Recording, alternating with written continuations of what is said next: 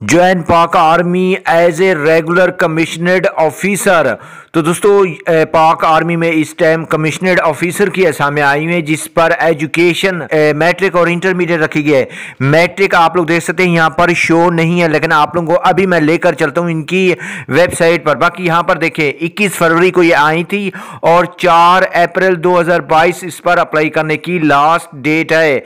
चौंतीस इसका बैच है टेक्निकल कैडेट कोर्स की ये असामियाँ हैं तो पूरे पाकिस्तान से सिर्फ़ मेल कैंडिडेट अप्लाई कर सकते हैं। इसके लिए आप लोगों ने ऑनलाइन अप्लाई करना है join Pak army dot G O V dot P K तो आप लोगों को मजीद एजुकेशन और दूसरे फ़िज़िकल और दूसरे हिसाब किताब के लिए इनकी वेबसाइट पर लेकर चलता हूँ। तो दोस्तों, देख सकते हैं कि मैंने join Pak army dot G O V dot P K ये वेबसाइट खोल ली है और यहाँ पर देखें तो ये दे सकते हैं इक्कीस से चार अप्रैल 2022 तक ये वो असामिया है कमिश्नर्ड ऑफिसर की। तो दोस्तों, देख सकते हैं कि मैंने जैसे ही स्क्रीन पर क्लिक किया तो रजिस्ट्रेशन की डेट देख लें, चार अप्रैल 2022 तक है, इक्कीस फरवरी को ये आई थी और पार्लियामेंट्री टेस्ट 11 अप्रैल को होगा 10 मई तक शायद इसके होते रहेंगे।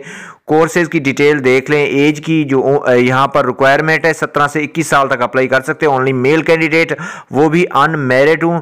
फ़िज़िकल स्टैंडर्ड ये कि पाँच फिट चार इंच का दो, वज़न जो है ना एज पर बॉडी मास तो कद के हिसाब से वज़न हो नेशनलिटी पाकिस्तानी हो और एलिजिबिलिटी क्राइटेरिया ये एजुकेशन देख लें। मैट्रिक यहाँ पर लिखा हुआ है ना मैट्रिक सीनियर कैमरेज आपने अगर बोर्ड में कर रखी है सीनियर कैमरेज बोर्ड से अगर आपने मैट्रिक कर रखी है तो फिर अप्लाई कर सकते हो। सीनियर कैमरेज बोर्ड में भी आप लोगों के साठ फ़ीसद नंबर हो मैट्रिक में। बाकी इंटरमीडिएट एफएसी या फिर बराबर तलीम है, फिर भी आप लोग अप्लाई कर सकते हैं। एफ़ की क्या टर्म एंड कंडीशन है, ये बताई गई है फिजिक्स केमिस्ट्री ग्रेड वन क्या क्या हिसाब किताब है? तो इस वेबसाइट पर जब आओगे तो आप लोगों को सारा हिसाब किताब मिल जाएगा। इन एलिजिबिलिटी कौन कौन हजरात जिनके पास इंटरमीडिएट भी है फिर भी अप्लाई नहीं कर सकते? तो ये यहाँ पर टर्म एंड कंडीशन बताई गई है कि फ़िलहाल फ़िलहाल बंदे अप्लाई नहीं कर सकते, या फ़िलहाल फ़िलहाल बंदे जिनके इंटरमीडिएट में फ़िलहाल फ़िलहाल कोर्सेज हैं, वो भी अप्लाई नहीं कर सकते, जैसे कि देख सकते हैं डिप्लोमा होल्डर तो मज़ीद जब आओगे तो आप लोगों को समझ आ जाएगी, ये तो था नाअहलियत आगे देखते हैं क्या लिखा हुआ है। ये देख सकते हैं registration and parliamentary section producer और देख सकते कि फर्दर सिलेक्शन इंफॉर्मेशन है। अकेडमिक मिलिट्री ट्रेनिंग के हवाले से सारा कुछ दिया गया है।